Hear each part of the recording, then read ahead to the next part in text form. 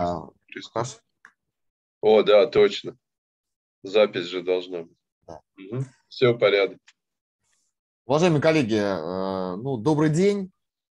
Э, мы открываем пятое заседание нашего клуба. Э, ну, как и прежде, почти как и прежде, потому что некоторые заседания я лично пропускал. Я буду фасилитатором этой встречи. А, напоминаю, что если по ходу появятся вопросы, вы можете использовать чат. Конечно, у нас сегодня предоставлено время для того, чтобы что-то обсудить вместе. А, и а, одна, одно новшество. Мы ввели одно новшество. Наше заседание формально длится полтора часа. Тем не менее, мы предусмотрели еще время, в течение 30 минут мы будем оставаться на связи, и если у кого-то возникнут какие-то дополнительные вопросы или соображения по тематике клуба, вы можете остаться и обсуждать. Да, то есть мы завершим основную часть э, в 12.30 и дальше до 13.00 по Москве, по Москве мы будем еще полчаса на связи. Вот такое новшество у нас сегодня. Вот. А тема нашего заседания сегодня индикаторы. Ну, тут есть некоторая предыстория, да, предыдущее совещание тоже было посвящено теме э, индикаторной оценки, но э, тема вызвала интерес, и поэтому мы решили э, продолжить эту тему, тем более, что у нас было проведено небольшое исследование, э, и о результатах которого Алексей сейчас расскажет. Пожалуйста, я передаю слово Алексею Кузьмину.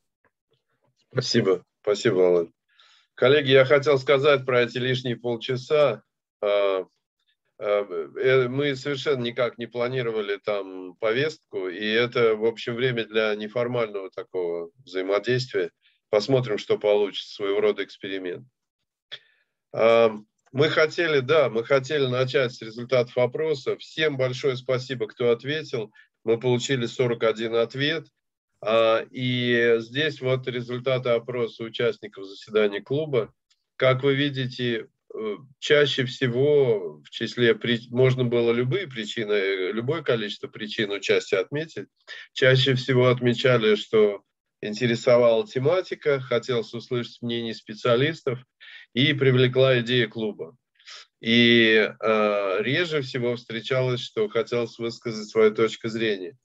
Э, вот так, та, такая мотивация участников. Значит, пообщаться в неформальной обстановке на интересную тему, ну, вроде как мы примерно это и планировали. А, ожидания в большинстве случаев либо оправдались, в абсолютном большинстве, либо оправдались частично.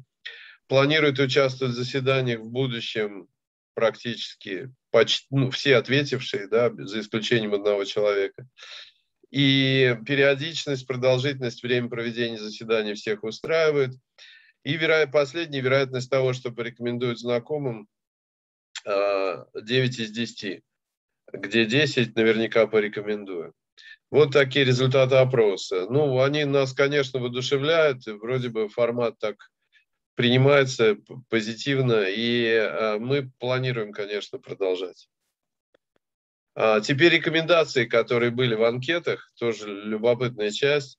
А, более активно привлекать к планированию повестки участников. Мы очень это хотим и стараемся делать. На самом деле все темы, которые мы выбирали, кроме первой, а, они были предложены в ходе совещаний. Но будем искать другие формы, в том числе, вот, может быть, сегодня что-то еще придумаем по ходу. Дальше после полутора часов оставлять полчаса на свободную коммуникацию участников. Это уже внедрено. То есть сегодня попробуем, посмотрим, как получится. А, значит, э, приглашать на заседание клуба представителей грантодающих организаций, ответственных за экспертизу заявок, мониторинг и оценку реализуемых проектов.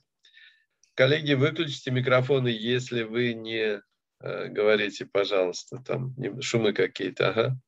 А, ну, идеи хорошие, мы будем об этом думать, но я знаю, что уже сегодня у нас есть такие люди здесь. Э, больше обсуждать практические вопросы оценки, не увлекаться теоретизированием. Так и планировалось. Интересно обсуждать кейсы, причем в рамках одной темы, чтобы сравнивать то, что можно сравнивать. Или обсуждать задачи в рамках одного и того же уровня обобщения. Конечно. Ну, будем тоже в этом направлении двигаться и постараемся как-то и кейсы подготовить. Тут, э, коллеги, знаете, есть такой момент, вот э, когда вы как здесь тоже рекомендовано, более активно включитесь в подготовку, тут сразу же становится понятно, что если мы хотим обсуждать кейсы, то это другой объем совершенно подготовки. Но будем стараться. Вот такие результаты опроса.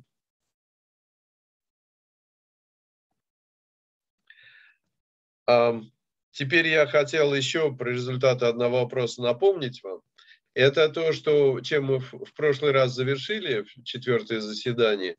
И здесь у нас было, что трудности, сложности в связи с мониторингом проектов и программ чаще всего встречаются, вот 56% при разработке инструментов для замера значений показателей и при разработке качественных показателей. И именно поэтому мы эти два пункта в сегодняшнюю повестку включили. Володя. Я озвучу вопросы, которые в итоге сложились э, и которые мы будем обсуждать на сегодняшнем заседании. А, напоминаю, что это развитие предыдущей темы, да, индикаторной оценки. И э, вопросы следующие. Значит, в чем отличие показателей, индикаторов и метрик? Эти термины используются в этом мире, и поэтому мы решили с этим немножко разобраться. А почему так сложно разрабатывать качественные показатели и какие есть рекомендации по их разработке? Тоже очень важная тема в разговоре об индикаторах.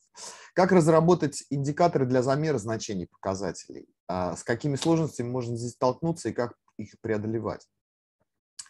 Значит, какой есть опыт использования ключевых показателей эффективности, KPI так называемые, но мы сосредоточимся, естественно, на деятельности НКО в обсуждении этого вопроса. А, и следующее из этого, а применима ли эта система KPI, которая широко используется в бизнесе, а, для некоммерческих организаций в мире социальных проектов программ, и вообще есть ли опыт такого применения. А, и последнее мы обсудим, расскажем и обсудим такую важную тему, как библиотека показателей для социально ориентированных организаций. Имеет ли смысл их создавать и какие есть за и против у этих библиотек? Ну вот, такая тематика на сегодняшний день.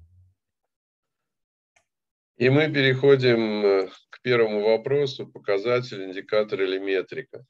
Я кратко хотел сделать вступление, просто для того, чтобы как-то наше обсуждение начать. А, значит, э, несколько комментариев. Если вы возьмете словарь, то легко заметить, что слово индикатор на русский переводится как показатель. Слово показатель, согласно словарю синонимов, является синонимом слова метрика.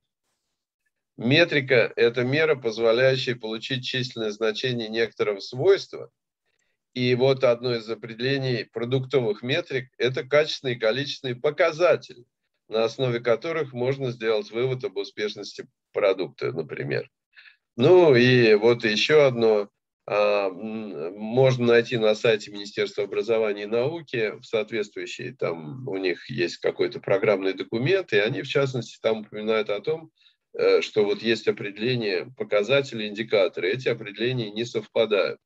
А отличаются они тем, что показатель – это количественное значение, непосредственно характеризующее что-то, а индикатор – это вычисляемый элемент они, э, эти определения на самом деле есть в книжке «Социальные индикаторы» Бородкина и Вазян. Известная книжка, кто этой темой интересовался, ее можно найти. «Социальные индикаторы», авторы Бородкина и Вазян.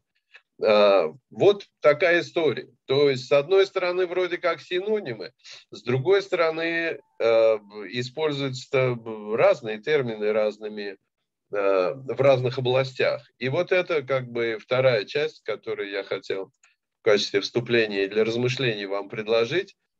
Значит, мы попробовали ввести в Google, а, в поисковую строку термины, относящиеся к показателям, индикаторам, и получили следующее на английском и на русском. Вот если ввести IT, информационные технологии, и метрики да, на английском языке, а, то получается 722 миллиона ссылок Google дает. Прилично. Если по-русски 32 миллиона, ну, то есть на порядок поменьше, но все равно довольно много, да. То есть можно сказать, что в IT-сфере используется активно термин, да. Дальше, если мы возьмем evaluation, оценка, да, и метрики, получается 346 миллионов в английском варианте и 32 э, миллиона э, в русском варианте, что тоже, в общем, э, ну, практически идентично, да, тому, что мы видим в IT, да, количество ссылок. Маркетинг и метрики 296 миллионов в английском варианте, в русском всего 386 тысяч. То есть не так часто, да, явно мы видим меньше.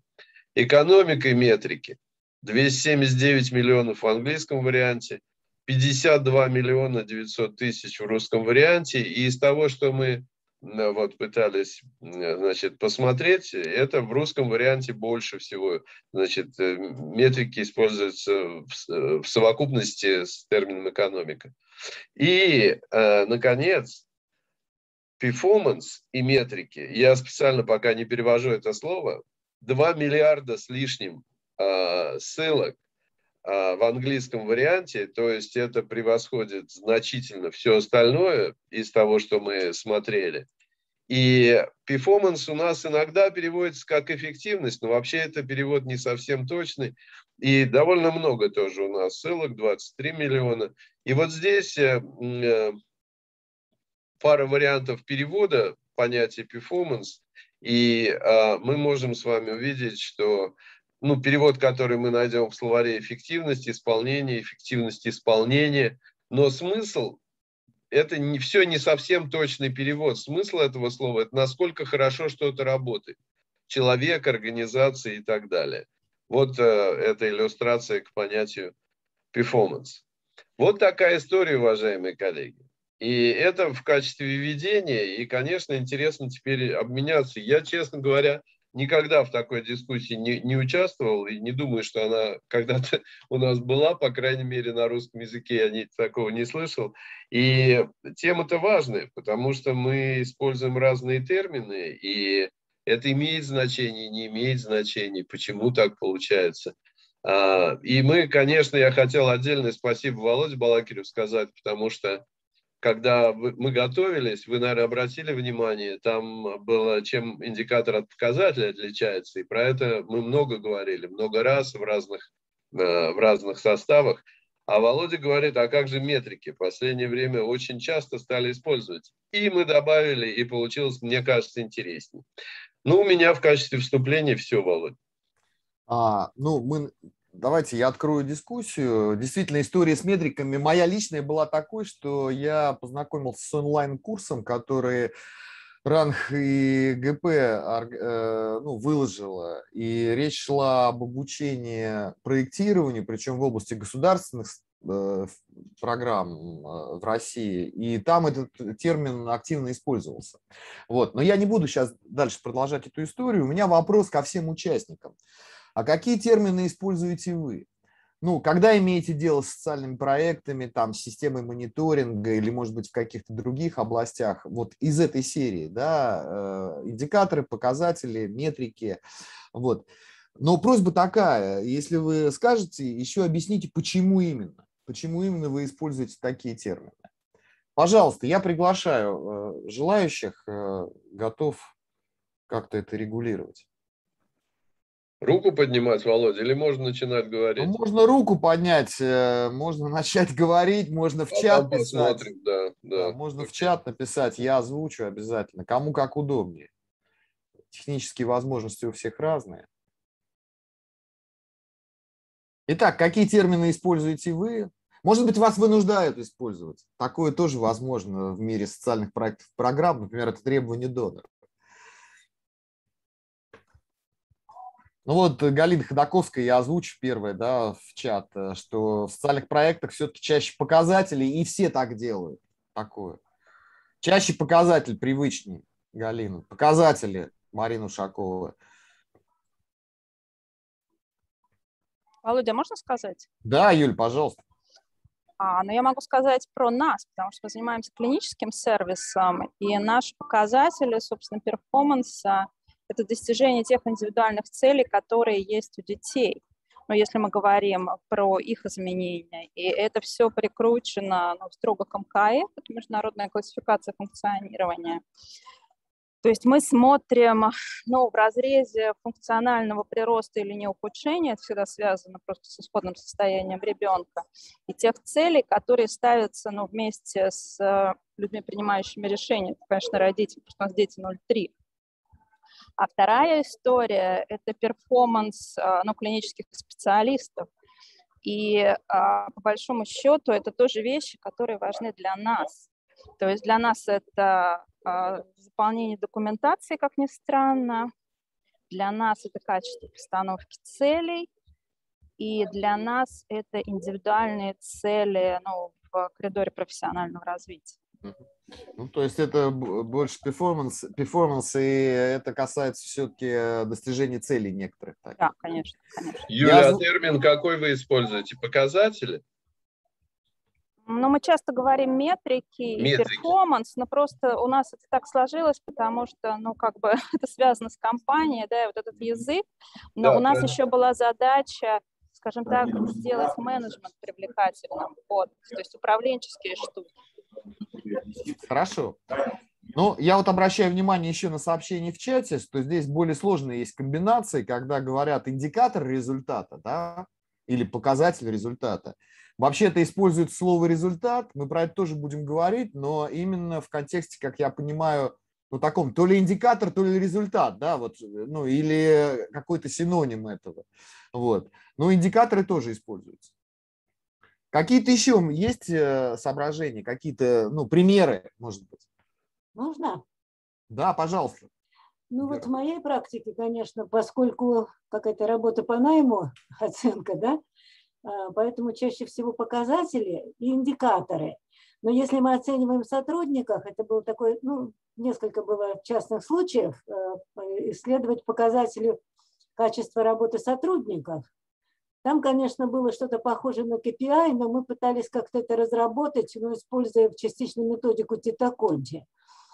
А вот э, что касается перформанса, ну вот в, те, в той сфере, с которой я работаю, для меня – Перформанс – это э, стандартный перевод, как это спектакль или представление. Ну вот если мы изучали, например, как представлены результаты, не так, как они, как, как они получились, как они, значит, э, количественно, качественно, но как они представлены, вот, защита проекта. Вот там можно было смотреть, как выглядит качественно представление. И, может быть, мы потом оценивали уже внутри команды, как это было представлено, хорошо они представили или плохо, они улучшили свое, свой вид, взгляд на свою работу или ухудшили. Это все, пожалуй, да. Спасибо.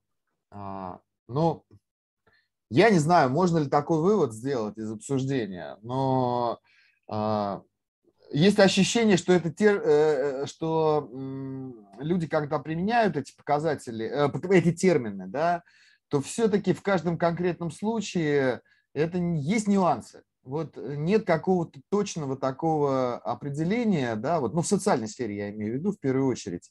Вот, хотя попытки такие приводятся, но мы как будто ощупываем какую-то общую область и вроде понимаем, о чем речь идет, но она такая не совсем четко очерченная. Да? Вот, вот у меня такое ощущение, не знаю.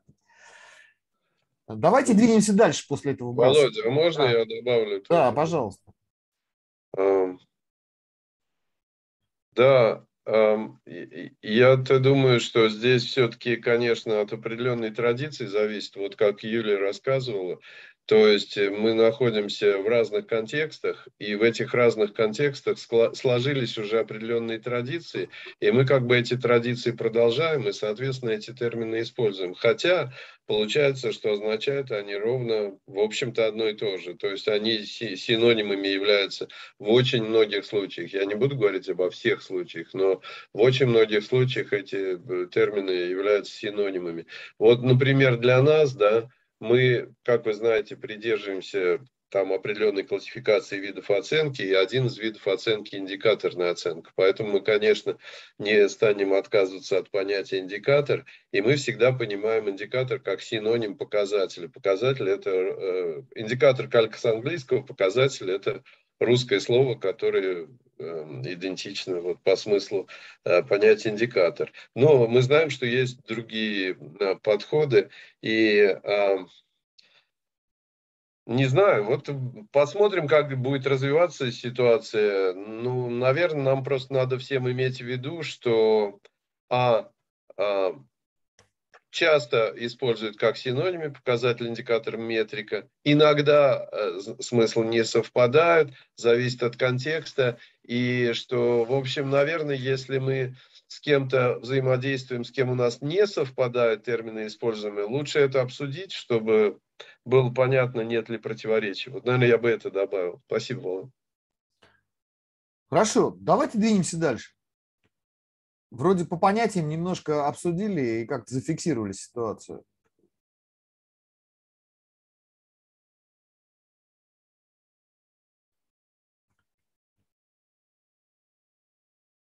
Леша, микрофон надо включить.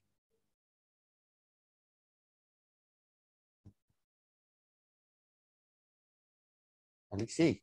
Ага, я здесь. Микрофон надо включить. Да, а я перед этим, когда речь говорил, я его включил. Ничего не слышно было.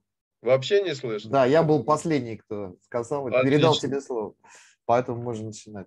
Нет, а, ты, мы слышали про соображения по поводу необходимости прояснения понятий в каждой конкретной. Да, резюме, а то я застрелиться уже хотел. Нет, это нормально все. Спасибо.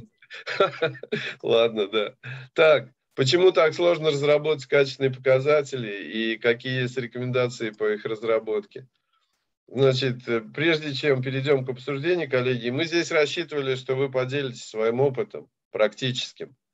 А, Все-таки давайте обозначим, что количественный показатель отвечает на вопрос «сколько?», и это количественные характеристики программы или проекта, или деятельности организации, и тут может быть э, разные, э, о разных вещах идти речь, но всегда ответ на вопрос «сколько?».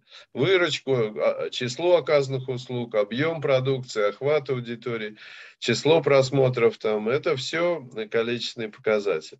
Теперь, когда мы говорим о качественном показателе, он относится к качественной характеристике программы проекта или деятельности организации, и на вопрос «сколько» непосредственно он не отвечает. Например, удовлетворенность благополучателей.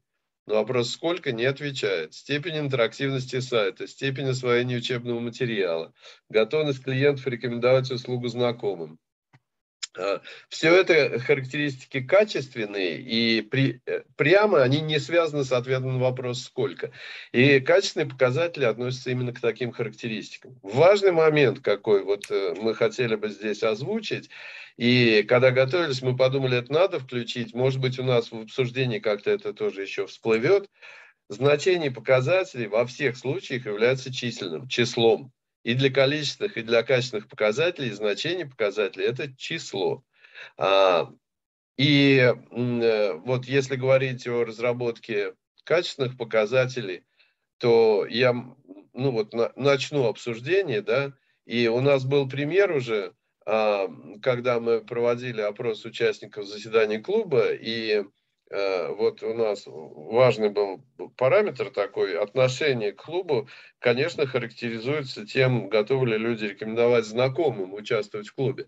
И э, какой здесь фокус? Мы имеем некую качественную характеристику, а, нужно и нужно для того, чтобы получить численное значение, которое будет э, с ней связано, а, нам нужно от характеристики перейти к какой-то шкале. В данном случае вот мы простую шкалу с ползунком предложили. Один точно не порекомендую, 10 точно порекомендую. И предлагаю людям интуитивно поставить ползунок на ту точку, которая, э, по их мнению, вот это э, отражает э, их отношение к, к клубу и будут ли они рекомендовать. И, соответственно, э, получается э, э, результат таким образом. То есть вот среднее значение мы получаем 9. И это означает, что подавляющее большинство отметили 9 или 10, но было несколько оценок, которые около 5-6.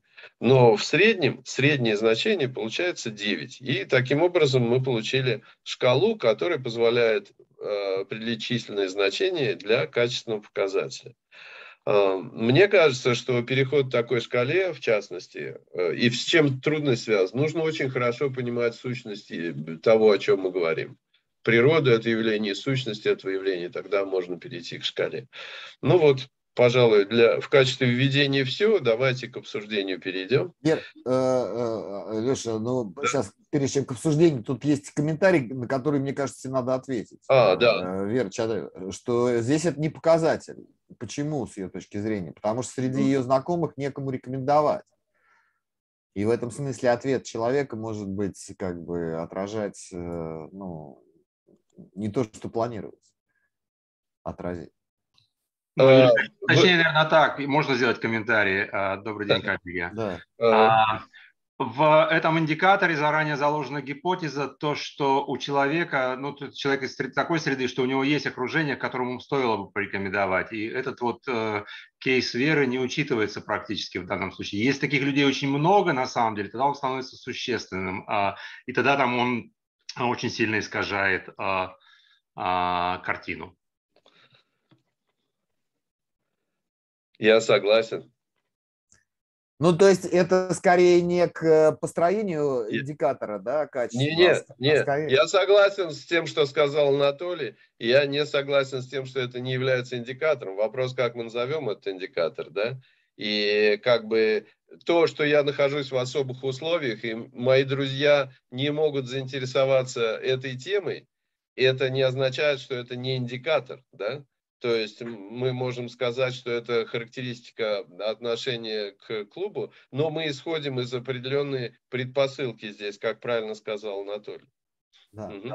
А вот он руку поднял. Анатолий, да, я вижу. Да, У пожалуйста. меня еще есть одно соображение по этому индикатору, и он этим интересен. А, вот опять-таки возвращаясь к сущности его, когда мы спрашиваем человека, готов ли он э, порекомендовать, э, то мы, во-первых, снимаем его первую эмоциональную реакцию, если мы прямо сейчас спрашиваем по ходу, да.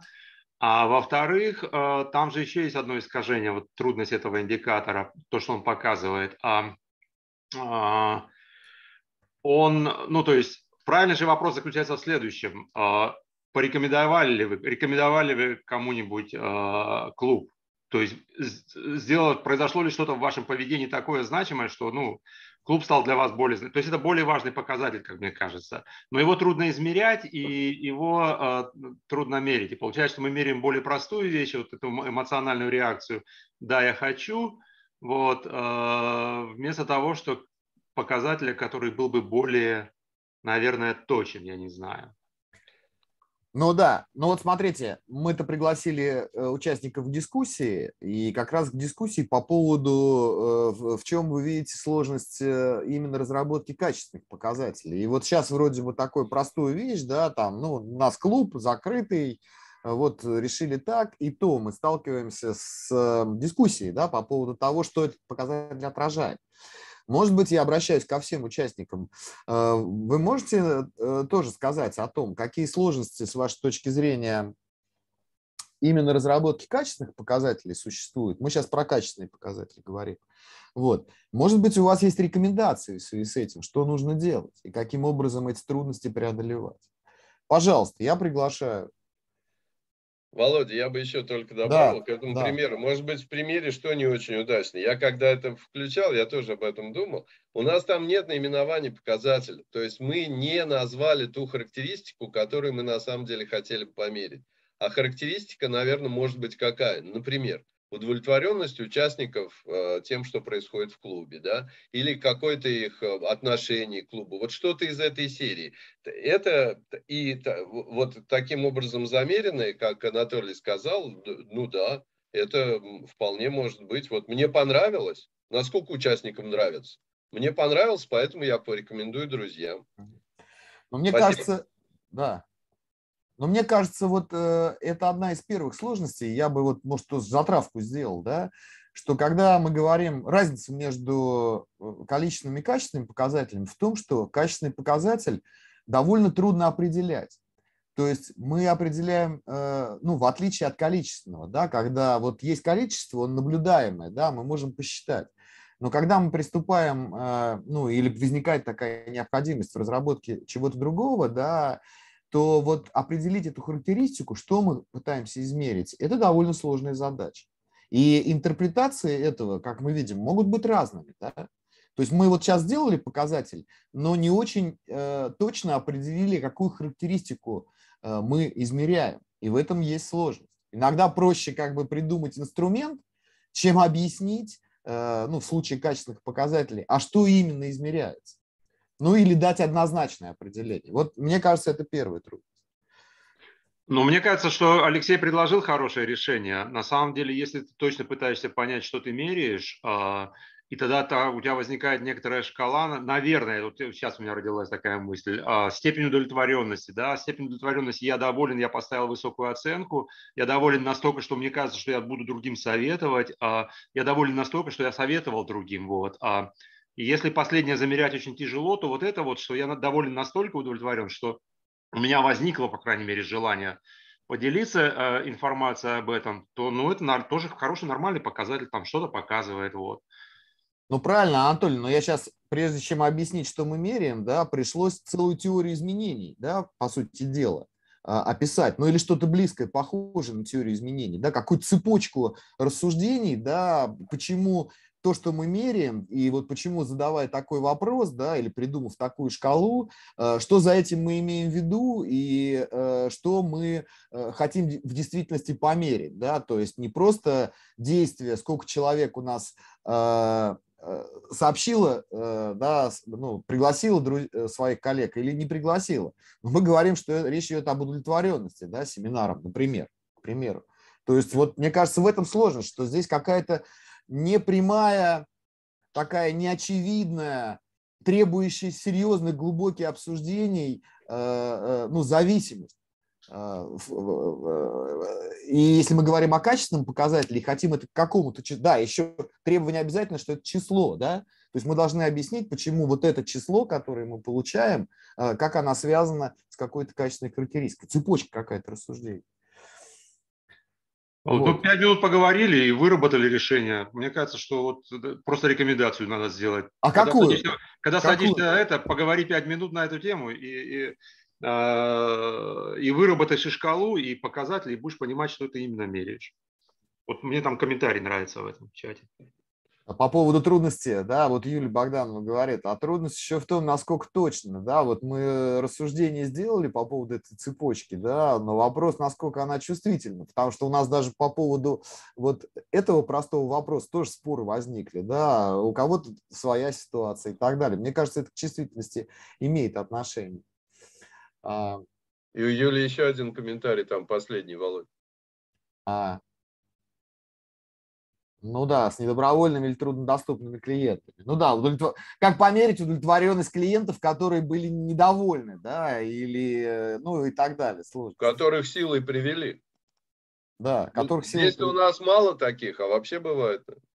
Ну да, да. Хорошо, еще какие-то соображения? ССЭК. Да, пожалуйста. Да, коллеги, мне кажется, что у нас наша дискуссия, мини-дискуссия вот это, про этот вопрос, немного отражает, э, в принципе, как бы две такие тенденции. То есть одна тенденция – все усложнить, другая тенденция – все упростить.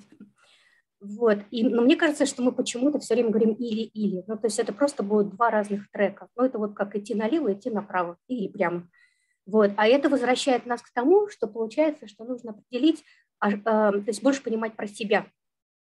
Вот. И это отчасти подтверждает, вот э, в течение года я ну, довольно много общалась с исследователями, экономистами, и их реакция, например, на, ну, вот на многие э, вопросы была, ну, если вот так ее суммировать, что мы, НКО, сами про себя знаем мало. Вот, то есть вот то, что исследователи тратят много времени на вот, э, понимание ситуации, вот этой стартовой, а зачастую получается, что вот мы НКО, мы – проскакиваем это так, потому что нам кажется, что и так все понятно. Вот, поэтому мне кажется, что какое-то э, какое-то время все равно придется потратить на то, чтобы лучше понимать действительно про себя. Ну, то есть вот вот этим мы идем. Нам нужно усложнить, и поэтому мы идем в эту сторону, мы идем путем как раз анализа не только своих показателей, но и вот, как Юля говорила, и про отраслевые и, и так далее. Ну, то есть получается все равно отправная точка. Мы должны лучше понимать про себя. И здесь важно дать вот это вот какое-то эм, пространство, то есть понимание, а что, собственно говоря, нужно анализировать и что это даст. Вот, мне кажется, у нас пока этого пока не так много. Вот. Это такое соображение про качественные как раз эти показатели. А в сторону упрощения это тоже очень важный трек, потому что на самом деле большинству не нужно усложнять. То есть можно идти более таким простым путем. Мы видим это на, на опыте, вот как раз если смотреть на международную практику, там ну, очень много упрощений. За этим, конечно, стоит огромный пласт работы, но если приходит какая-то такая вот э, новая НКО, она, ей проще понимать. То есть она может посмотреть, зайти в библиотеку показателей, посмотреть на а, какие-то кейсы конкретные и сказать, о, мы вот можем попробовать вот так делать. Вот, в общем, вот так, такие вот мысли. Ну, я, может быть, соглашусь, да, с частью того, что Секс сказал, но в случае с качественными показателями, ну, что понимать под словом понимание себя? Ну, качественные показатели часто ориентированы на отражение каких-то процессов, например, а, которые происходят э, с человеком, ну, в процессе воздействия на него, да, например. Ну, вот удовлетворенность, да, это же внутренний процесс, там, я удовлетворен или не удовлетворен, да. И тут даже дело не в том, насколько мы понимаем, но вообще понимание того, а каким образом это происходит в процессе, каким образом это происходит в процессе. У меня вот пример недавно такой дискуссии короткой был. А, там экологический проект, проходит акции для детей а, в школах, направленные на то, чтобы ребенок там пользовался раздельным, а, этот, мусор разделял, да, и выработаны индикаторы. А, ну, и идея состоит в том, что, ну, такой заход, что, по сути дела, акцию провели, после этого все дети взяли и начали дома э, разбирать этот мусор, сортировать и, соответственно, соответствующие ящики выбрасывать. Но вы знаете, вот это как бы вот про себя вроде, вот мы так решили. Но с другой стороны, вообще, если обратиться, речь идет об изменении поведения, поведения привычного, устойчивого, причем в среде недружелюбной к таким решениям, да, я про нашу страну говорю. И Вопрос. Вот каким образом мы представляем процесс, когда ребенок, как бы вот проведя там ну, час, два, полтора, ну, три часа на каком-то мероприятии, решил изменить поведение. Вот как это представляется? И мы хотим этот процесс измерять, да? Э, измерять. А, ну, мне кажется, вот здесь не только про себя, но и про понимание того, что происходит с людьми, когда они являются участниками, там, благополучателей социальных проектов программ. Вот про эти теории.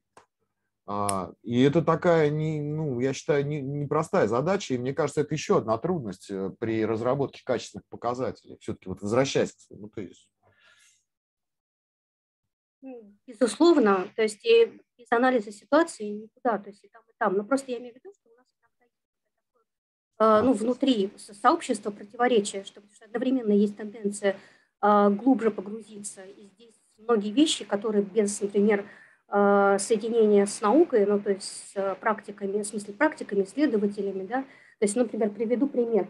Вот сейчас э, э, очень такие интересные и, мне кажется, прямо востребованные в будущем в НКО э, тенденции э, в маркетинге, когда они на стыке IT э, очень э, глубоко пытаются понять вот эти поведенческие э, вещи – и мне кажется, это как раз вот этот э, трек, который нужен для тех НКО, которые работают например, со сложной, ну не знаю, в здравоохранении. То есть это вот туда, ну, особенно если они работают именно с точки зрения, там, э, решая какие-то проблемы э, с, с серьезными заболеваниями и так далее. Вот. Но а, опять-таки, но опять-таки та тенденция, которая есть к прощению, то есть дайте нам простые решения, да, за этим будет стоять огромный пласт работы, но это тоже как бы такой трек важный. То есть uh-huh. про него не нужно забывать, что очень многим НКО нужны такие простые и очевидные вещи. Вот, поэтому э, ну, здесь просто будет нужно попробовать, ну, то есть было бы здорово, я думаю, что, наверное, так и будет, что будут э возникать проекты, которые будут отвечать и тем, и тем тенденциям. Ну вот. В общем, просто имею в виду, что за этим разные вещи стоят. То есть вот Хорошо. Так, Анатолий хотел сказать, и у нас там в чате тоже дискуссия развивается. Давайте Анатолию сначала. Ну, я как раз к дискуссии, которую в чат, маленький комментарий к тому, что ССС сказала. А, ну, во-первых, мне кажется, что индикатор – это всегда упрощение, и, соответственно, в случае качественного индикатора это такое очень опасное упрощение. Вот. А там можно выкинуть, выбросить сущность а, чего-то, и тогда индикатор перестанет быть рабочим. А вот следующее, оно вот к тому, что Юлия пишет в, в чате, и прямо такой вот э, крик души, я бы сказал, в отношении вопроса удовлетворенности. Дальше возникает вопрос, это хороший индикатор или плохой? То есть отражает ли он сущность? А, ну вот и Юлия приводит медицину, что удовлетворенность или э, излечение, то есть это разные вещи. Если начинаешь мерить удовлетворенность в медицине, то э, это, это опасный такой риск, потому что ну, люди будут думать про стены, а не про качество медицины. А, но что касается клуба, мне кажется, это же важный сущностный такой индикатор, потому что, то есть дальше надо задать вопрос, а, это связано с сущностью того, что происходит, или мы хотим каких-то более результатов от этого клуба, чтобы все стали там применять оценку у себя вот, и так далее. И тогда, может быть, индикатор удовлетворенности не сильно важен, или важен как только а, качественный индикатор как ступенька к главному, к самому важному, и нужно мерить и его, но нужно еще создавать какой-то индикатор например, стали ли все внедрять там оценку у себя или так далее. Вот, то есть тут такой вот э, важный вопрос пошел э, на эту тему. Отражается ли этот индикатор э, глобальную сущность или глобальную задачу, сверхзадачу того, что, что происходит, то, что то, что делается? Что-то получается, как-то мы сильно с качественными индикаторами все усложнили, нет? Вот у меня вопрос э, к участникам, которые пока не активны, да, что вы думаете? Разделение есть такое. Там возьмите любую заявку донора, да, если совсем прям опускаться вот на такой технологический уровень. Там есть опишите качественный и количественный индикатор. А. Может быть, нет никакой проблемы на самом деле. А как же 56%? А можно я пример расскажу? 56% чего? Сейчас. Да, В прошлый да. раз 56% сказали, что проблемы есть. Это больше всего сложности возникает при разработке качественных индикаторов. Понятно. Анатолий пример приведет. Да. Можно, мне кажется, я его приводил в прошлый раз. А, в фонде, где я предыдущим работал, а, у нас была такая задача, нам нужно было профессию создать а, цифрового журналиста. Ну, по-моему, я приводил, приведу еще раз. Мы себе поставили качественный индикатор, что в 15 университетах появится эта профессия, ее будут преподавать. Вот. А, а, и потом приходит ко мне человек ну, в середине проекта и говорит, слушай, говорит, 15, проект, 15 говорит, университетов, ерунда, говорит, у нас не получится, говорит, и смысла нет, говорит, тратить ресурсы на 15, давай, говорит, сделаем 5. А я говорю, вообще без проблем, давай 5 сделаем, лишь бы хорошо было. Все равно это будет индикатор того, что что-то появилось. Вот, что профессия как бы начала проникать на уровень преподавания. И мы сделали 5, и я честно скажу, вообще-то вот был индикатор 15, стал индикатор 5. Ничего в жизни не изменилось. Вот в реальной. Даже лучше стало. Индикатор меньше на самом деле, но мы зато 5 сделали более качественных. Там комнаты создали цифровой журналистики. То есть мы так ресурсы более локализованно использовали. И вот эта проблема с качественными индикаторами. Что, что 5, что 15, и то, и другое хорошо, что-то другое за ним стоит. Вот. А, ну, реально получается, что это был индикатор ни о чем, если его можно в три раза уменьшить, и почти ничего не изменится. Вот ну, проблема с, с качественным индикатором. Ну вот смотрите, э, Вера Чадаева э, в чате написала, качественные показатели все-таки больше про отложенные результаты. Вот вы знаете, я бы тоже в этом направлении подумал, потому что глядя, например, на э, ну вот как бы форм, заявки, да, формат заявок некоторых доноров, и когда ты встречаешься с описанием, вот опишите количественный индикатор, опишите качественный индикатор, у меня все время возникает ощущение, что в данном случае донор требует, требует э, не э, индикаторы описать, а вообще-то перечислить некоторые промежуточные результаты проекта. И вот эта вот смесь такая, вот мне кажется, это тоже проблема есть такая. Вот все-таки, а в чем разница между э, качественным индикатором и результатом? Если требование такое, описывать качественные индикаторы без цифр, я бы склонялся к мнению к тому, что это фактически описание результатов. Но индикатор – это не результат. Мы это на прошлом семинаре говорили об, об этих различиях. Но в случае качественном вот здесь есть какая-то э, непонятная такая э, размытая граница между двумя понятиями. Ну и, соответственно, между тем, что мне описывать при э, разработке проекта, там, при описании проекта. Я ну, хотел бы отреагировать на то, что у нас вокруг отложенных, неотложенных результатов да. вот, в чате происходит. Коллеги, мне кажется, да, это важное соображение, и, конечно, качественные показатели могут к отложенным результатам относиться, но на самом деле вполне себе можно представить э, качественные индикаторы процесса, которые вообще вот здесь и сейчас э, будут характеризовать ситуацию. Ну, например, если будет речь идти о том, насколько интерактивный, ну, использование интерактивных методов там в преподавании, предположим, да, тема такая, я сейчас не придумаю там название индикатора, но смысл такой, вот насколько, качество, вот так можно сказать, качество взаимодействия учителя с учениками во время урока. И это, и это не, неотложный результат, конечно. И, по-моему, вот э, очень важный момент, э, э, который Анатолий сказал, да, что это, когда мы говорим о качественном явлении, оно настолько всегда ну, сложное и, многомерное, и попытка его свести к нескольким показателям, она всегда, конечно, это всегда упрощение, и порой даже удивляет, ну, эта степень упрощения иногда это доводит до абсурда, я полностью согласен. Да. Но смотрите, вот Вера предлагает какой э, выход. Давайте откажемся. Я, я так в пределе, да, Вера не предлагает, но я как бы продолжаю эту линию. Давайте откажемся от термина, э, от понятия качественный показатель, и давайте будем считать, что это просто промежуточные результаты и оставим количественные показатели. Вопрос тоже, можно ли так сделать, если такая трудность? Может быть, она трудность связана с тем, что мы пытаемся уловить, да, плюс вот эти сложности с точностью определений, с определением самим. Может быть, вообще отказаться от этого термина и считать, что качественных показателей не существует? Довольно радикальное предложение. Да, да, вот такое радикальное предложение. Эм. Что вы ну, думаете, уважаемые коллеги?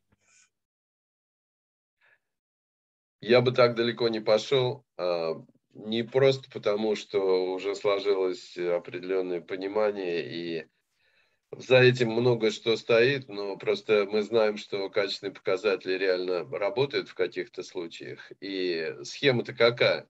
Вот, э, ну, пример, да, мы сталкивались вот при оценке сайтов там, а, например, есть показатель, степень интерактивности, интерактивности сайта. Интерактивность, понятное понятие качественное, да, но для того, чтобы его перевести в э, число, численное значение, надо придумать шкалу.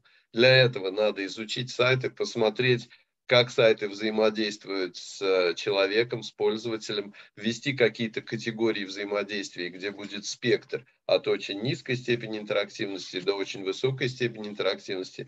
Эта шкала будет э, у нее, э, она будет такой описательный характер носить, да, и тогда каждый пункт на этой шкале можно обозначить числом, и, соответственно, когда мы говорим степень интерактивности 3, это будет означать, что я могу с этого сайта загрузить информацию себе и обратно на сайт отправить. К примеру, да, 2 будет несколько меньше, а 4 будет несколько больше. Но э, и поэтому, ну, это нормальный вполне себе показатель, он работает. И э, я бы совсем отказываться не стал бы, но и, и, хоро, хорошо понимать явление, о котором идет речь, мне кажется, здесь принципиально важно. Ну, вот ССЭК тоже говорит о том, что как раз необходимость э, в понимании причинно-следственных связей там, между действием, которое мы подсчитываем, да, и э, э, что это действие означает, да, какое качество тогда сайта. Да, Анатолий, я вижу э, руку, пожалуйста. Ну, еще одно соображение на эту тему. Давайте медицину возьмем как пример. Мне было бы вот интересно подискутировать все-таки вот на, на примере медицины. А, а, которую вот здесь приводится в чате. Но если мы возьмем показатели только количественные, например, да, то первое, не начнется ли у нас, ну там, например, э, выле... сколько человек, людей вылечивается, то не начнутся ли здесь э, злоупотребления вот какого свойства, которые, собственно говоря, бывают. Э, некоторые клиники для того, чтобы показывать хороший общий суммарный показатель, они берут только такие случаи, которые имеют шансы на излечение, пытаются исключить случаи, которые как бы не которые имеют мало шансов, ну, например, в онкологии это там какого, какого уровня заболевания, там какой а, или а, то, что были манипуляции с показателями, начинаются, ну, например, а, когда человека выписывают за несколько дней до, ну, до, до смерти, просто чтобы не портить статистику, например. И если здесь какие-то качественные показатели, которые могли бы более достоверно отражать картину и результативность действий тех или иных институций, ну, то есть вот клиник, например. Вот из медицины, даже если брать примеры, то чисто количественные показатели есть риски. Кстати, в бизнесе были а, такие же риски, когда все ориентировались только на прибыльность и очень быстро поняли, что там тоже начинается злоупотребление, компания может на коротком отрезке показывать хорошую прибыльность, а, а там а, все остальные показатели более качественные, которые отражают а, развития компании, они, если они игнорируются, то через несколько лет у вас будет прибыль, прибыль, прибыль, а потом вы просто рухнете, а, потому что там вопрос капитализации или что-то еще, то есть там они не будут учтены. Ну вот э, Юлия пишет в комментарии, я тоже на это обратил внимание, и это к вопросу о применении качественных показателей. Мы в любом случае должны как, какие-то этические моменты учитывать. Да? Ну, понятно, что разрушить можно все. Кстати, с количественными индикаторами э, там насчет манипуляций, да, тоже э, это как бы общая черта для индикаторов или для показателей. Ну, возможность манипулирования данными, да, как бы это вот. Но, может быть, в случае качественных показателей особенно аккуратно нужно к этому относиться. А... У меня нет ощущения завершенной. Да, Алексей руку поднял. Я про медицину тоже хотел сказать. Да. Есть такая история а, про то, что великий целитель, он так скромно устроился в поликлинику участковым доктором просто. Ну и сидит очередь, новый доктор – и туда, значит, на, в инвалидной коляске заезжает человек, и через некоторое время пешком выходит оттуда. Его очередь спрашивает, ну как новый доктор? Да, говорит, не очень, говорит, даже давление не померил. Я, я это к чему? Что э, на самом деле вопрос э, следующий у нас там есть про инструменты, э, как мы как мы замеряем значение показателей, это важно. И вот Юлия тоже об этом писала. То есть, конечно, если мы хотим оценить качество медицинских услуг, то а, как бы руководствоваться исключительно ощущениями там пациентов э, только этим, это, конечно, будет рискованно. Весьма специфическая задача. Можем мы как-то подвести итог короткий, поскольку, ну, небольшой, потому что мы вроде подискутировали, но если говорить о качественных показателях, вот все-таки можем ли остановиться, у меня есть острое желание, ну, какие-то э, метки поставить, да, вот в этой теме, которая сложная, да, по-разному понимается, еще более по-разному, чем метрики, индикаторы и показатели, мне кажется, вот. Но можем ли мы все-таки выработать какие-то вещи, вот, ну, например, да, вот я могу затравку сделать. Ну, первое, все-таки, когда мы говорим о качественных показателях, это число. Вот, ну, и от этого нельзя отходить. Ну, вот с моей точки зрения это важно. Иначе речь идет не об индикаторах. Потому что если индикатор – это число, там возьмем там физику, да, и так далее, число. Вот как бы первая такая рекомендация. Если вы говорите о качественном показателе, требуйте, да, или попробуйте сформулировать, но это должно быть численное выражение чего-либо. Не знаю, есть ли какие-то еще такие советы, которые помогут все-таки эту зыбкую такую тему, ну, как-то поставить на опоры? А, да, Вер, пожалуйста. Ну вот согласна, что это число, конечно, и все-таки, поскольку проекты все, ну, имеют свои отраслевые особенности, и все грантодатели еще на каждый проект накладывают свои отраслевые какие-то требования, особенности.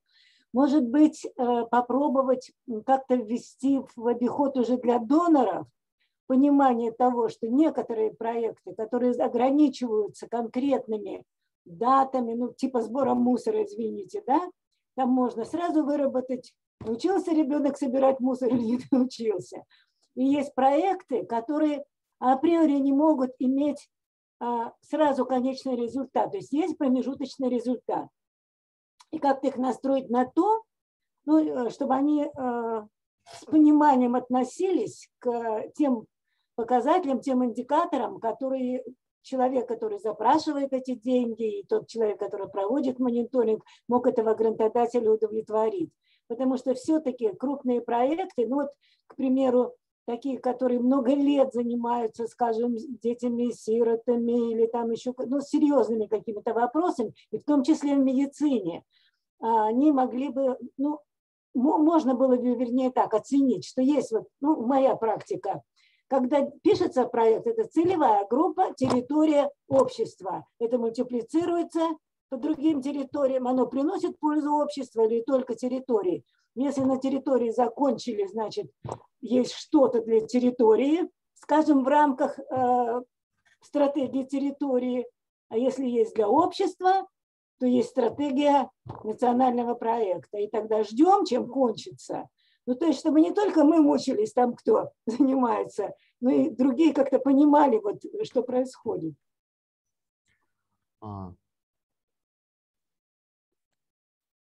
Ну, хорошо. Но все-таки, если говорить о конкретной рекомендации, у нас в исследованиях было побольше конкретных рекомендаций. Да, вот, вот я бы, вот первая рекомендация, говорить о качественных показателях обязательно число. Это ко мне, с моей точки зрения, конкретная рекомендация. Я сейчас не говорю, как это сложно сделать и так далее, но на выходе должно быть число. И это как бы рекомендации для доноров, или для разработчиков, там, для людей, которые оценивают проекты и так далее. Ну, Есть ли еще что-то? Я бы добавил, Володь, тогда, что ну, понимать, что использование показателей индикаторной оценки всегда связано с упрощением и обязательно предполагает, соответственно, переход от жизни во всем ее многообразии к некоторой модели. То есть сначала модель, потом качественные показатели какую-то модель надо, то есть понять, как это работает, и потом уже мы придумываем качественные показатели. И следующий момент, мне кажется, тоже как резюме, ну, один из выводов, можно так сказать, что когда мы реализуем какой-то проект или программу социально ориентированную, есть всегда как бы четыре важных вещи, про которые нам надо понимать. Первый, нам надо понимать, сколько мы всего сделали, это относится к нам, масштабы, да, и насколько хорошо мы это сделали, соответственно, это качество. И э, другая сторона – это каковы масштабы изменений, это количество, да, и э, каково качество этих изменений уже для благополучателей. И там, где речь идет о качестве, качественные индикаторы в принципе могут использоваться. Но, наверное, как уже говорилось здесь, ограничиваться только индикаторной оценкой здесь неправильно, если мы хотим понять качественные явления. Ну, то есть, по сути дела, твой совет, да, в ситуации даже любых индикаторов, и качественных, может, особенно, понимать ограничения, да, что э, э, несмотря на то, что мы получаем число, да, но как бы точность этого отражения качества, а, она как бы может быть только такой теоретической. Ну, условно говоря, мы определили, да, и мы считаем, что вот в рамках э, да, нашего проекта это качество, да, можно измерять таким образом. Но надо понимать, что в реальности могут быть разные вещи, исключения. То есть мы, мы редуцируем реальность. Показатель качественный, он редуцирует реальность. Апологизировать его нельзя. Если 100% заявили удовлетворенности, да, но это не значит, что в реальности это так. Да. Ну вот... Э, и это речь не о приблизительности показателей, а речь а именно о сложности отражения этого качества, да, и так далее. Хорошо, ну, не знаю. Дальше, да, Володь? Сложная тема, да, сложная тема. Давайте мы зафиксируем какие-то вещи. Вот, э, я считаю, что вот если результат этого обсуждения будет все-таки ну, понимание людей, что и качественный показатель должен быть числом, как минимум, для меня это очень важная точка. Да? Вот э, как бы число, и все. И на этом надо стоять. Есть сложности дальше, как это сделать, но нельзя отходить от этого базового понимания э, качественного индикатора. Хорошо, давайте двинемся дальше к инструментам, потому что это следующий вопрос, и мы начали уже затрагивать, и в теме качественные индикаторы вопрос об инструментах, как эту цифру получать, он, конечно, э, очень важный вопрос.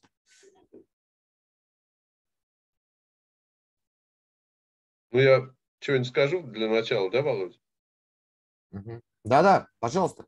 Ага. Я тебе слово передаю. А, хорошо, да. Ну, коллеги, конечно, ну, здесь много есть э, аспектов и какие сложности возникают, но я бы сказал так.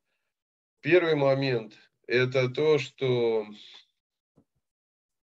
разработка любых инструментов предполагает, э, что мы должны э, иметь соответствующие компетенции. Ну, условно скажем, да, для замера значений показателя надо провести анкетирование. Анкета разрабатывается по определенным правилам.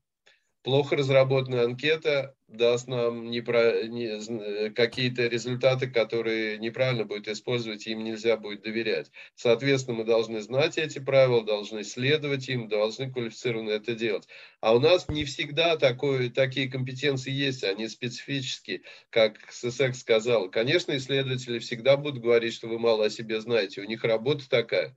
Они, их работа вся заключается в том, чтобы мы больше о себе знали. Но с другой стороны, когда есть НКО, который решает какую-то социально значимую задачу, а, больше знать о себе зачастую действительно является их приоритетом, и компетенций нет соответствующих. Так что вот первое – это компетенция. А второй аспект, который э, сложный, как мне кажется, э, это э, в нормальном смысле создание своего рода бюрократии, каких-то процедур, каких-то э, процессов, документов, которые позволяют, например, регистрировать там э, значения тех или иных показателей, какие-то формы надо заполнять, эти формы куда-то отправлять, где-то их обобщать. И это целая система. Это вот вторая сложность, которую бы я отметил.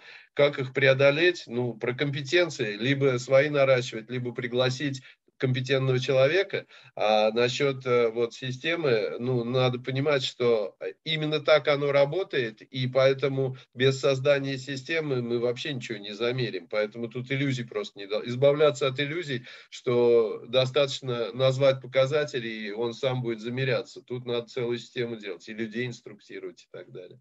Спасибо.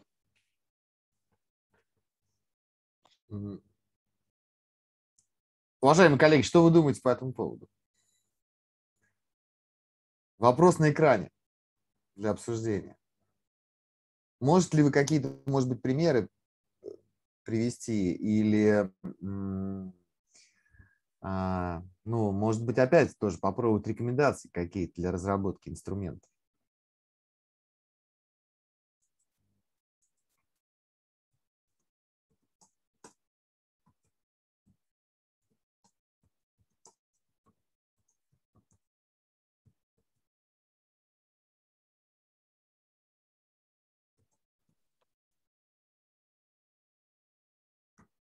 Мы на самом деле в предыдущем пункте много об этом говорили, тоже так получилось, да? Затрагивали этот вопрос, поэтому можно, можно и дальше двинуться, если что. Ну, или значит, что никаких э, нет. Есть 56 процентов, ты кончай. Вот ССЭК сейчас скажет. На самом деле у меня наоборот, даже очень много чего ей сказать, поэтому я как-то, ну, я не буду. А я скажу вот что. То есть, с одной стороны, все-таки, наверное, придется идти, ну, не то, что придется, а надо будет как-то искать вот этих исследователей, которые помогают больше понимать, понимать про себя. И такого даже, ну, то есть у нас не так много, на самом деле, пока а, исследовательских а, центров, которые занимаются этим. Они есть, и это здорово, вот, но конечно, их нужно больше, особенно в регионах, ну, там, в региональных университетах, например. Вот, потому что это просто потом упростит жизнь э, МКО, ну, то есть э, будет проще с этим работать. Ну, даже вот маленький пример, разработать хорошую анкету, это действительно очень сложно. И что? То есть это что, нужно заставлять э, самих МКО, чтобы они это, э, ну, нарабатывали этот навык? Ну, не самое очевидное. Кто-то сможет научиться, а кто-то, у кого-то просто ресурсов таких не будет. И поэтому здесь как раз логично сотрудничать с, с университетами, а, и его примеры мы уже видим такие. То есть вот у нас вот вышка в этом плане а, есть э, лаборатории, которые в этом помогают, это очень здорово. но опять-таки, если говорить в сторону упрощения, если будут появляться какие-то конструкторы анкет, это тоже здорово. Но за этим тоже будет большая работа стоять, потому что они не могут возникнуть так в сферическом вакууме. Ну, а, уже, вот. уже появляются. Они появляются, но они пока еще ну, такие. Нужно за ними, ну, есть работы должно быть больше за ними стоять для того, чтобы они действительно были полезными отвечали вот не просто конструктор, э, вот задайте такой вопрос и так далее. То есть, но это здорово, то, что они уже есть. То есть это прямо вот, это дальше, таких, я думаю, конструкторов должно быть больше, особенно по тем как раз, и опять-таки, почему про понимание про себя НКО, потому что для каких-то вещей, может быть, не стоит заморачиваться. Будет достаточно действительно простой конструктор. А для каких-то вещей, ну, все-таки нужно будет. То есть это просто вот такая вот развилка.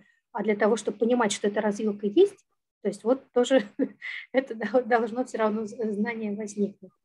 Это раз. А второе, это все-таки, наверное, про, а, про ну, наверное, я пока на этом остановлюсь. Угу. Пожалуйста. А вон Алена. Алена, да, я вижу. Алена, пожалуйста. Добрый, добрый день, коллеги. Слышно меня? Да-да-да. Я тоже сначала молчала про этот вопрос, потому что, согласно СССР, здесь, кажется, говорить можно очень много и долго. Вообще, как разработать инструмент, зависит от конкретного показателя, но важно, и какие сложности здесь могут быть, ситуация меняется быстро, участники могут в различные проектные процессы и в НКО включаться различные. Соответственно, если мы один раз разработали какой-то инструментарий, не значит, что мы сможем его использовать всегда. И про это нужно помнить.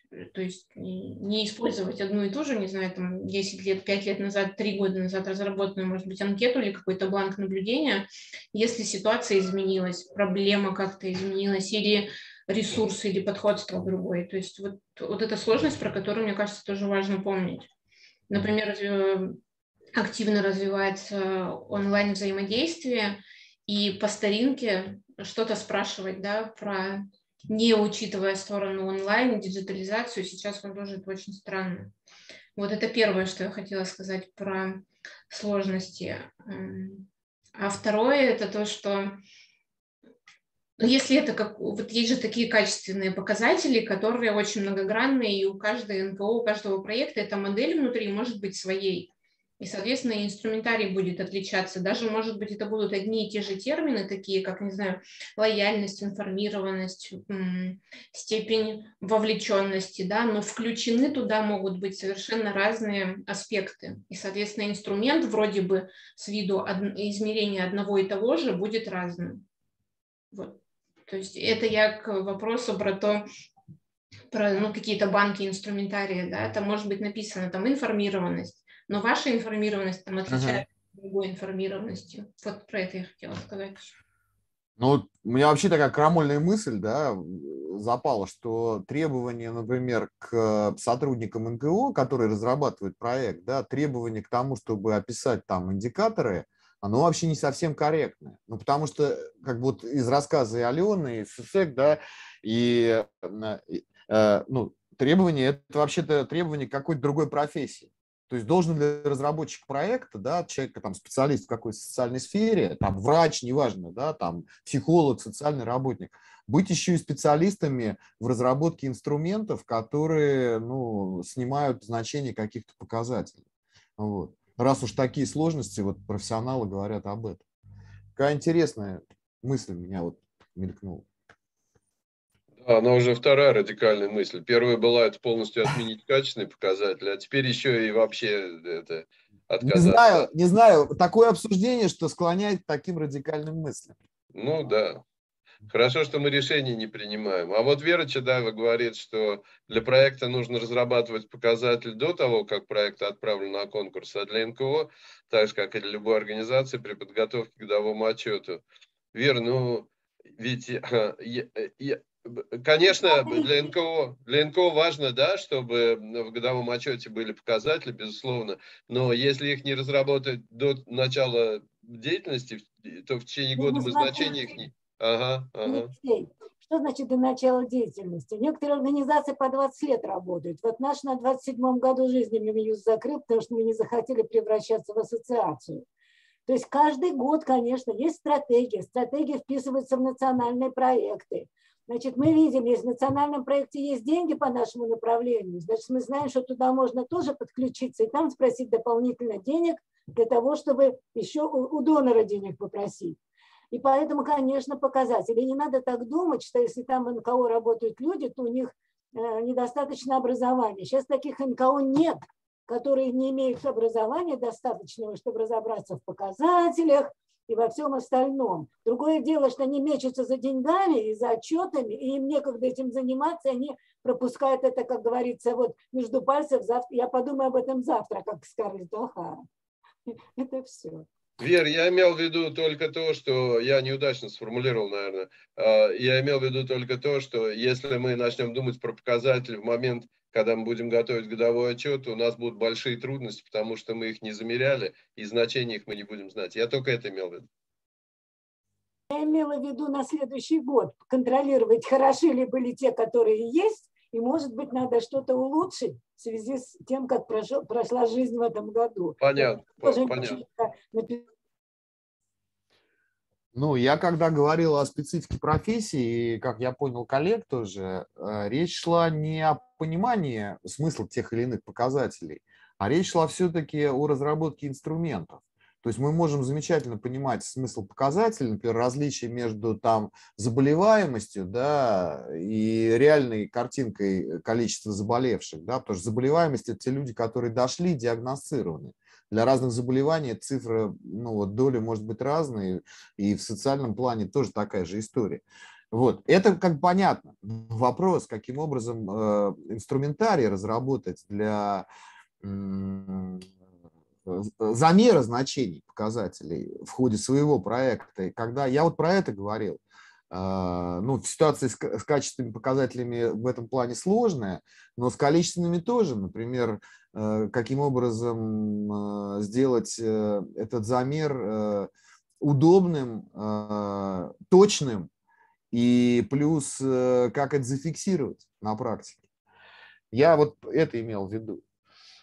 И вот это вопрос для меня, насколько эти умения специфичны. Потому что а... ну, я, разработка анкеты – это профессиональное действие. Я к а нему вот, серьезно отношусь. А вот Анатолий хочет. Да, Анатолий, пожалуйста. А, а можно кейс разобрать живой? А, вот коротко и быстро, может быть, за две минуты получится. Ну, а, мы сегодня один качественный показатель затрагивали, и он был связан с тем, что с удовлетворенностью а, деятельностью клуба «Прооценка» И один из индикаторов мы выбрали, что вот э, готов ли я а, внутренне поделиться, то есть вот есть ли у меня такой внутренний настрой, готов ли я поделиться. А, а какой был бы хороший качественный показатель для оценки результативности клуба про оценки на самом деле и как же его замерить? Вот если мы бы выбрали для себя и а, действительно ли это так сложно или, или, или или здесь бы мы справились, а на более сложных таких явлениях нам было бы гораздо труднее. Это вряд ли мы за две минуты это разберем, Анатолий. Я, я не думаю, что это такой простой вопрос, потому что здесь масса других вопросов за ним потянется. И это та вещь, которую вот как раз я вначале говорил, что к этому специально как-то подготовиться надо, потому что если импровизировать начнем, очень много времени уйдет. Ну, согласен, да, соглашусь, наверное. Хотя мы так подкрадывались уже к сущности и как бы разбирали, но... Здесь просто надо вопрос. с чего. Да, Толь, а? надо с чего начинать. Надо начинать с того, вон, да, Вера пишет. Каким. Для чего этот клуб создавался, да, глобально? Вот каких результатов мы ожидали получить, да, какие получили, и как их замерить. И эта тема такая, что я бы не плюс, знаю. Я, да, я согласен. И плюс к этому, на самом деле, ну, две вещи все-таки хочу сказать. Плюс к этому, mm. смотрите, одна из трудностей какая. А если мы начнем изучать потом, вот достигли мы, не достигли результата, возможно, что мы обнаружим, как это часто бывает с, с подобными продуктами экспериментальными, что то, что мы закладывали гипотезу, не сработало. Но сработало что-то другое и гораздо лучше на самом деле. И окажется, что наш проект невероятно успешен, хотя индикатор качественный, который мы хотели бы мерить, будет ну, плохой, например, или там, ну, он не будет, низкий, конечно, но, низкий, но не сработает. Низкий. А второй момент, мы, мы бы сами справились или нет в построении такой модели и оценки? О, конечно, справились бы. Ну, то есть вот в некоторых ну, кейсах получается... Сомнений нет, ну, в некоторых кейсах получается... Такая армада тут, конечно, справились бы. Но а. только не, не за две минуты. Окей. Okay. В смысле, снял предложение, да? Я бы еще поворот один сделал вот э, в инструментах сбора показателей. Ну, наверное, это в большей степени для качественных э, показателей. Ну, два момента я бы обозначил. Ну, вот смотрите. А,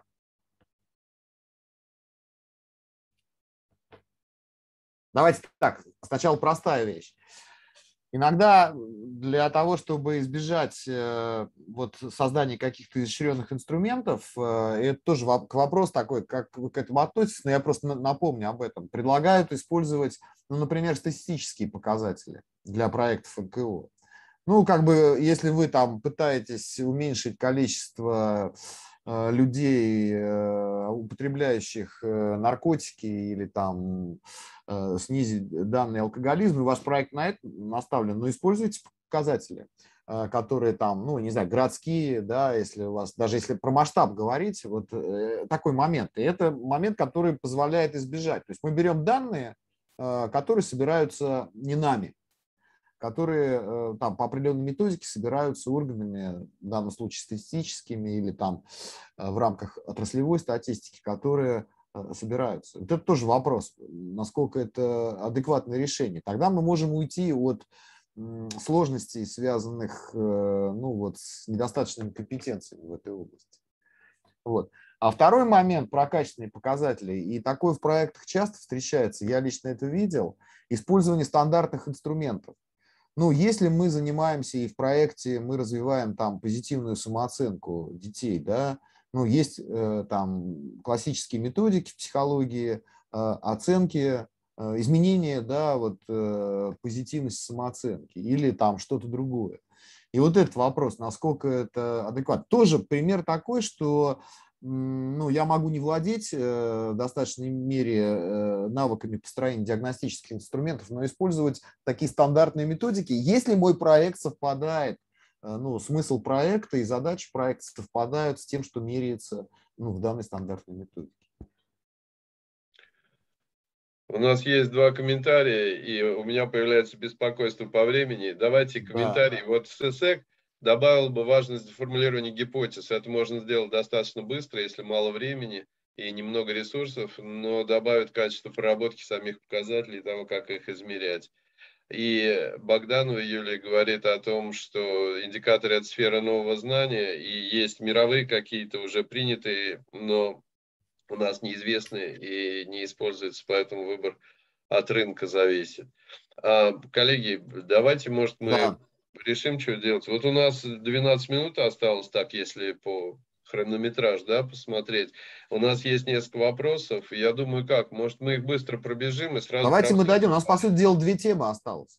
Ну, и мы быстро пробежим, Володь, да, и да, поговорим да. сразу про все. У меня предложение да. такое, и у нас полчаса остается, пожалуйста, я приглашаю остаться тех, у кого время есть и желание. Да, просто пообщаться, ага. Ну вот смотрите, у нас вопрос есть, какой есть опыт использования ключевых показателей эффективности в деятельности НКО. И здесь мы просто хотели именно пригласить обменяться опытом, который есть, наверное, у участников сегодняшнего заседания. И перед вами определение, что, что такое ключевые показатели эффективности. И здесь, кстати, опять мы сталкиваемся со словом performance, который в данном случае переводится как эффективность, что не совсем точно.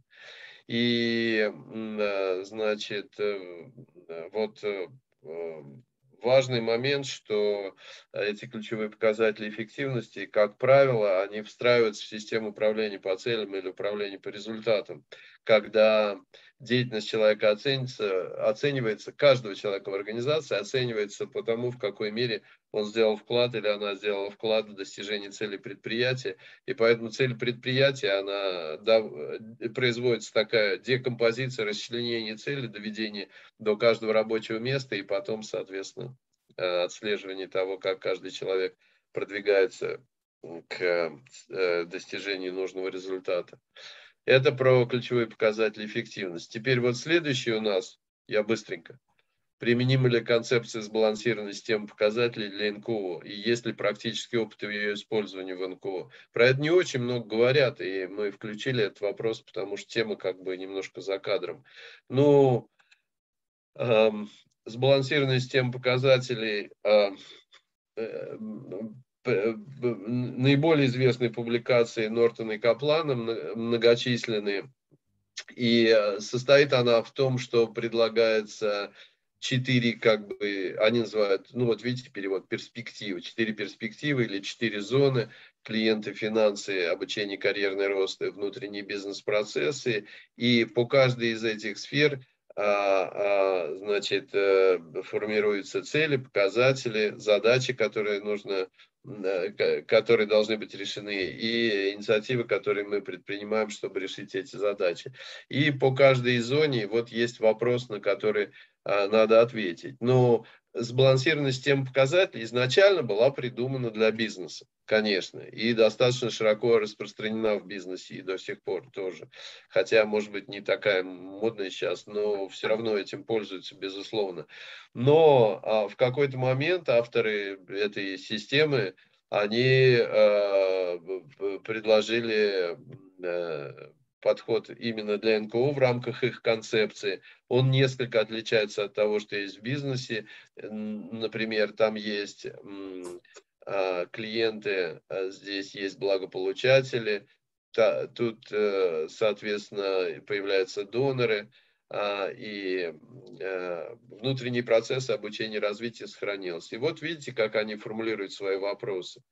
А, как мы будем выглядеть в глазах доноров, если добьемся успеха, как мы должны выглядеть в глазах благополучателей, чтобы реализовать миссии и так далее.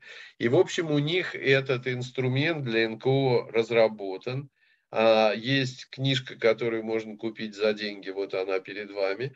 И а, есть статья бесплатная, ниже ссылочка, только она на английском языке, если что. И в этой статье как раз Каплан объясняет, а, как их подход должен трансформироваться для НКО и подводит вот к этой модели, которая здесь на русском языке представлена. А, поэтому как можем сказать так, что за рубежом э, эта система для НКО адаптирована, а использование ее у нас – это интересный вопрос, и было бы здорово, если бы кто-то, может быть, что-то сказал по этому поводу.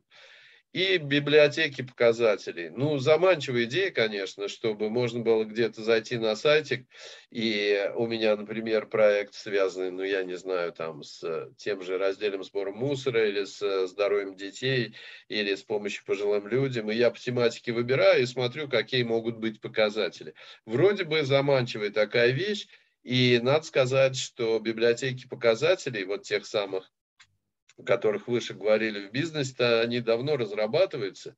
И вот есть, например, зарубежные библиотеки, и вы видите, что э, э, есть российские библиотеки, есть зарубежные библиотеки. В данном случае две российские, э, библиотека показателей, ключевых показателей эффективности, и там, и там. В одном случае это HR-портал для тех, кто работает с человеческими ресурсами, а в другом случае это универсальная достаточно библиотека. Так? И э, э, есть, безусловно, зарубежные библиотеки показатели огромные, там по 17, э, ну, в общем, много тысяч показателей в библиотеке.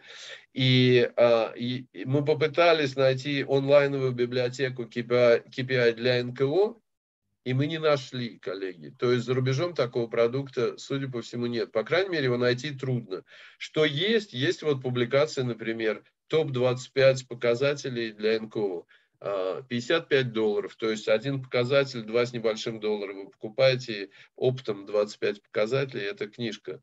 И а, что внутри мы не смогли посмотреть, мы ее пока не купили. Вот.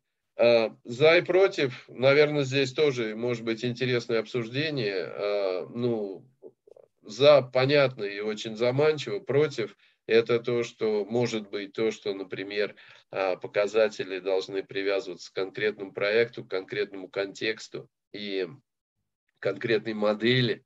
И поэтому сам по себе показатель, он мало о чем говорит. Вопрос, к какому элементу модели нашей деятельности мы этот показатель привязываем, и тогда в этом контексте уже можно рассматривать, как он работает. И вообще заимствование готовых показателей, конечно, рискованно. Даже если мы говорим об одном и том же явлении, я, например, сталкивался с тем, что, скажем, попытка взять модели, которые использовались там, в африканских странах а, по борьбе с бедностью, и применить эти модели и показатели, например, в Казахстане, вот я непосредственно с коллегами там взаимодействовал, оно, конечно, не, не очень удачно получилось, потому что явление бедность вроде бы одно и то же, да, на самом деле в разных контекстах там разные аспекты надо э, учитывать. Ну вот, это основные моменты, которые мы хотели обсудить. Видите, здесь, наверное, тоже много вопросов. Ну, может, все сразу и пообсуждаем. Юлия Богданова комментирует, говорят, все-таки секторальных метрик с ее точки зрения не могут быть, могут быть только отраслевые. Ну, наверное, имеется в виду, что метрики, ой, не метрики, а ну, индикаторы, метрики, э, связанные с какой-то специальностью определенной, да, то есть с, с тематикой какой-то определенной, профессиональной. В этом смысле общесекторальных, ну, не знаю, мне трудно сказать. Леша, а у меня вопрос есть. Так все-таки KPI применимо для НКО, с твоей точки зрения, система KPI? Ну, то есть корректно ли говорить, что у нас вот э, в, в, в, в проекте да, есть э, ключевые показатели эффективности, там, ну, перечисляем.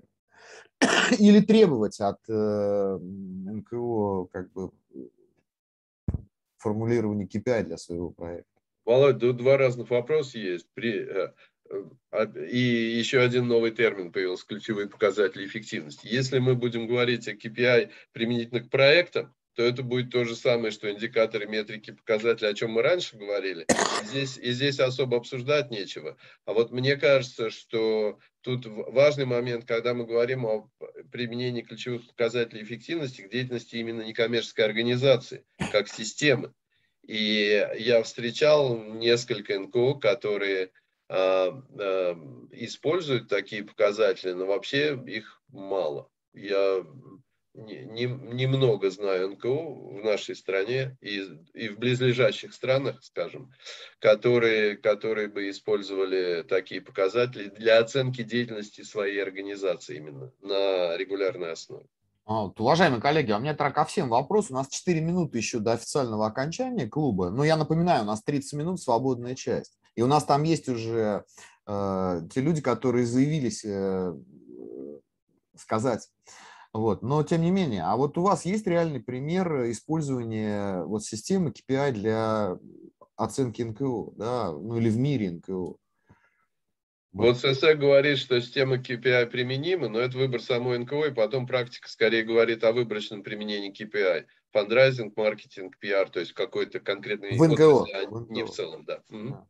Спасибо. А, а есть кто-то, кто реально участвовал в этом, вот личный опыт э, как бы, э, ну, разработки и использования для своей организации, может быть, для других организаций? Ну да, мы использовали а, для оценки программной деятельности своего фонда, когда я работал в фонде Рената Ахметова, но я сразу скажу, что это очень такая тяжелая вещь, поскольку это связано с оценкой а, результативности людей, а, вот э, интерпретация этих данных, а, ну, я приводил пример, да, 15 университетов или 5 университетов, то здесь ты будешь очень таким а, занудным, как бы, или, например, это деньги донора, и у донора, донор тебе не скажет, что ты можешь изменить его так радикально, то оценка человека будет очень низкая, при этом результативность его была высокая, то есть там риски очень большие есть. То есть к этому мы добавляли еще оценку там 360 градусов для того, чтобы понять роль человека которую он сыграл в жизни организации, потому что только одних KPI мало. А, ну, то есть вот в проекте он сделал то-то, то-то. А, но там вот, э, вот эту модель, если посмотреть, Нортона и Каплана, то есть там же еще несколько показателей есть, кроме проектных, которые очень важно влияют на жизнь организации. Это и климат, взаимоподдержка, и работа на общие цели и так далее. Вот, то есть это такой инструментарий можно применять, он очень такой дорогой при разработке, сразу скажу, то есть у вас должно быть достаточное количество денег, и плюс к этому а, в нем есть риски, если вы используете только его, или у вас нет достаточных ну, ну, ресурсов внутренних для того, чтобы использовать его корректно, смотреть, следить за ним. Вот. Поэтому у нас служба HR, там, допустим, она была вовлечена в этот процесс, и она у нас была не маленькая, вот, а, потому что мы делали ставку на людей. То есть это такое, это, это, это, это такое сложное удовольствие, если вы хотите не испортить организацию. Ну, я вот лично тоже знаю о примере, но не был по, по, по, глубоко погружен, но просто знаю, что эта система работала. Это в Центре социальных программ компании «Русал». Да. Я не знаю, как сейчас, но несколько лет назад я знаю, что они каждый год для сотрудников своих, ну, то есть это целый процесс был разработки KPI на следующий год. То есть были некоторые показатели, которые, поскольку этот э, центр интегрирован с э, компанией достаточно плотно, да, то э, на них распространялось требование для всей компании, а в компании была внедрена система KPI, и вот разрабатывались. Но довольно сложный процесс, это ежегодный процесс, который требовал времени, ресурсов, и ну, такие споры были относительно того, какие значения использовать на будущий год. Серьезная такая аналитическая работа. Вот, и, наверное, не дешевая в плане, действительно, соглашусь, для организации. То есть Володя, я правильно затрат. понимаю, что в этом случае, так же, как вот и у Анатолия, когда он рассказывал, были общие цели, к к которым привязывались KPI, да? Вот да, это, да, конечно. Это была всегда... То есть это, это элемент управления по результатам. Да, упра... да, и это всегда отталкивались от верхних целей, которые прорабатывались там руководствами э, на верхнем уровне, и дальше происходила такая э, по ступенькам вниз опускались до показателей каждого сотрудника. И это небольшое тоже подразделение, это несколько там, ну, не больше 20 человек, но это очень много времени отнимало. Непростая задача была. Уважаемые коллеги, ну, у нас время э, нашей встречи подошло к концу. Официальное. А, спасибо, что вы принимали участие. А, я хочу сказать, что у нас все идет по плану, и следующее заседание через месяц будет. Да, мы примерно в такой режим вышли. Но, как всегда, подробнее точную дату мы скажем немножко позже. Вот.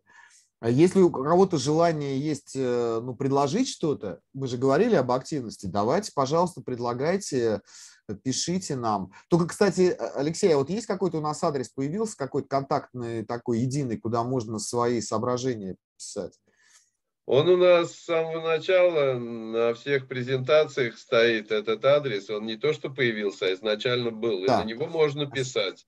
А да. А, также, а также, если вдруг у вас есть сейчас возможность задержаться, то вот одна из тем, которые мы сейчас можем обсудить с теми, кто неформально останется, можем обсудить, как дальше, да. Хорошо. Тогда мы официально закрываем наш клуб. Я подумал, что надо какие-то вводить э, символы такие, может быть, музыку какую-то, вот как бы для открытия, да, для начала. Э, ну, мы подумаем про это. Э, вот. Но мы закрываем заседание официальное. Спасибо всем, кто пришел. Э, как всегда, не на все вопросы мы получили ответы, хотя искренне многие старались, а многие хотели, вернее, большинство хотели. Ну, вот такие темы мы берем, э, которые, как мне кажется, однозначных ответов пока не всегда находят. Вот. Спасибо, я официально закрываю заседание, и те, кто хочет остаться, может остаться, потому что у нас э, ну, есть как бы первое такое для затравки. Юль Богданова в процессе просто просила э, меня там показать несколько слайдов, возможность, но мы просто время было, у нас как была тематика ограничена, я попросил ее подождать. И если она готова сейчас, я могу э, дать возможность, да, вот разрешить